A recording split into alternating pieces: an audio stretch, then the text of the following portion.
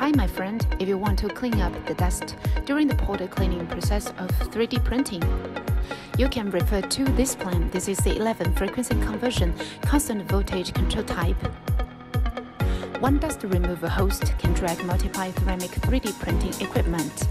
Clean the ceramic powder dust during the cleaning process. Use galvanized pipe to install a custom dust cover. Dust cover installed above the powder cleaning table of each 3D printing equipment. Universal suction arm can also be used to connect the dust cover and the main pipe. This method can be more flexible to handle the dust. Follow my stream and let you know more about the workshop dust removal application solutions.